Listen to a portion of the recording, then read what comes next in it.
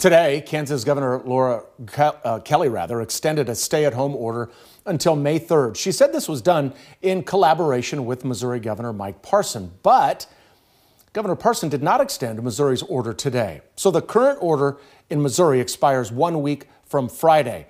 And in Missouri, a growing number of self-employed people who lost their jobs are now hitting roadblocks when filing for unemployment insurance.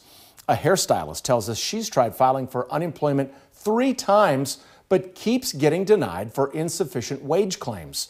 This week, she applied again, but was told she's not eligible to file again until after July 4th. That's terrifying to me because I still have to come up with this money regardless of if I'm getting unemployment or not. My biggest fear is those bills stacking up and what is going to happen afterwards.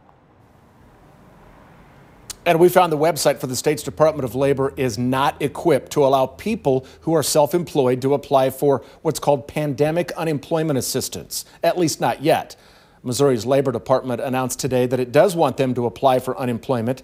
Self employed claims will start being processed sometime next week. And, you know, Ellen, it's not just Missourians having issues with unemployment as well, because we've also been on top of this growing problem for people in Kansas as well. Yeah, that's right, Brad. And the State Department of Labor's IT team has been struggling with higher traffic.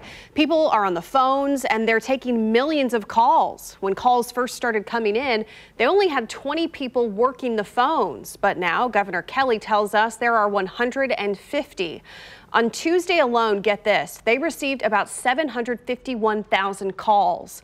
The Labor Department is taking more steps to help people out. We're trying to figure out exactly what's being done. Governor Kelly did say today that there will be an official announcement tomorrow about what the Department of Labor is doing.